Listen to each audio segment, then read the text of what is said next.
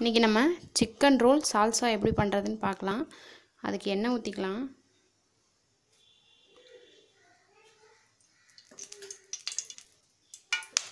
எண்ணெய் காயட்டும். நம்ம வந்து சிக்கனை எலும்பு இல்லாமல் இந்த மாதிரி எடுத்து மிக்சியில் போட்டு ஒரு ரெண்டு சுற்றி சுற்றி எடுத்து வச்சுக்கலாம்.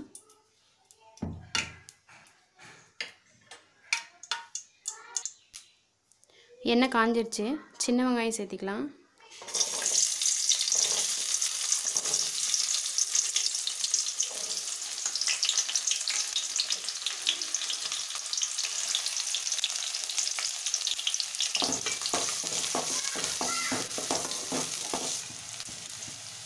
இஞ்சி பூண்டு பேஸ்ட்டு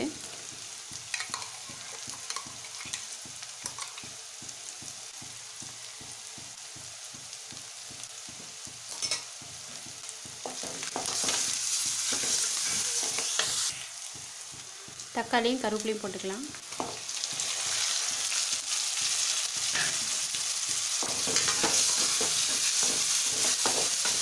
வெங்காயம் தக்காளி எல்லாத்தையும் நல்லா பொடியாக கட் பண்ணிக்கோங்க.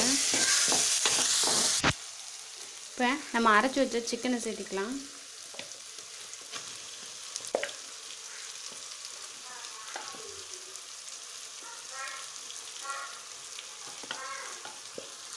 இப்போ சிக்கன் சேர்த்து நல்லா பிரட்டிக்கலாம். எலும்பு இல்லாமல் எடுத்து மிக்சியில் அரைச்சிங்கன்னா அரைச்சிடும் ரொம்ப அரைச்சிடாதீங்க. ஒரு ரெண்டு சுற்று சுற்றுங்க கரெக்டாக இருக்கும்.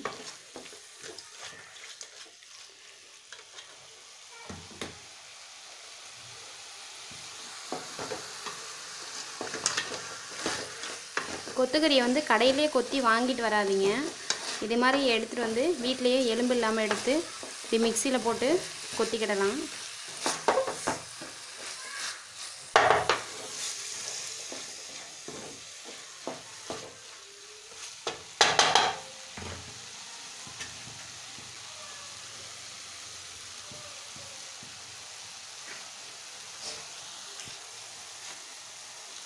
மஞ்சத்தூள்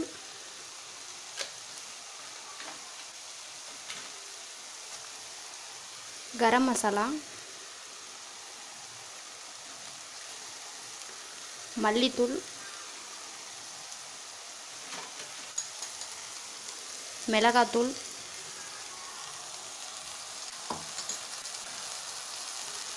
இது வந்து பட்டை ரெண்டு ஏலக்காய் ஒரு அன்னாச்சிப்பூ அரைச்சி வச்சுருக்கேன். இதில் சேர்த்திக்கலாம்.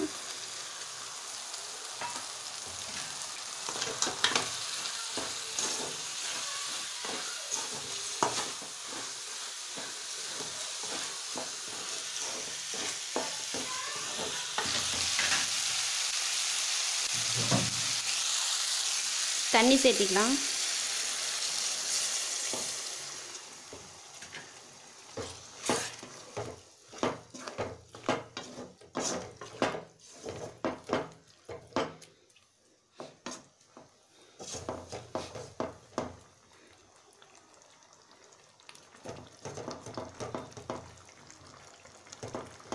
சிக்கன் நல்லா வேகட்டும். உப்பு சேர்த்திக்கலாம்.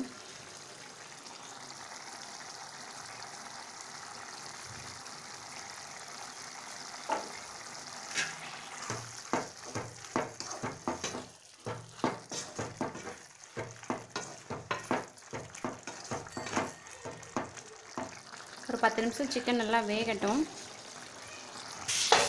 இப்போ பாருங்கள் தண்ணியெல்லாம் வத்திடுச்சு. இந்த பதத்துக்கு இருக்குது இப்போ இதை இறக்கிட்டு நம்ம தோசை ஊற்றுவோம்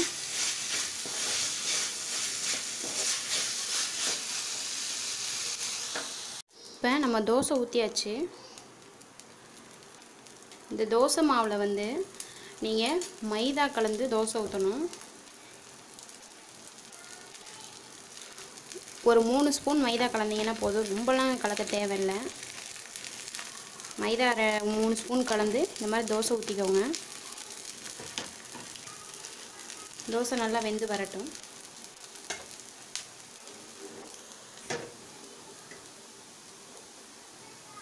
இப்போ நம்ம செஞ்சு வச்சுருக்க இந்த கொத்தை இப்படி உள்ளே வச்சுக்கலாம்.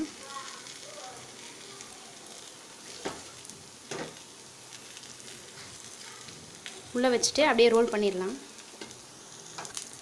ரோல் பண்ணியாச்சு. இப்போ இதை எடுத்து ஒரு பிளேட்டில் வச்சிடலாம். இப்போ நம்ம பொடியாக கட் பண்ணி வச்சுருக்க தக்காளி வெங்காயம் பச்சை மிளகா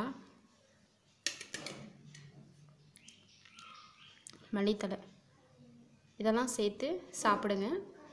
கொத்து சால்சா ரெடி ஆயிடுச்சு நீங்களும் இதே போல் ட்ரை பண்ணி பாருங்கள் ட்ரை பண்ணி பார்த்துட்டு எப்படி இருந்துச்சுன்னு கமெண்ட்டில் சொல்லுங்கள் ரொம்ப டேஸ்ட்டாக இருக்கும். கண்டிப்பாக ட்ரை பண்ணி பாருங்கள்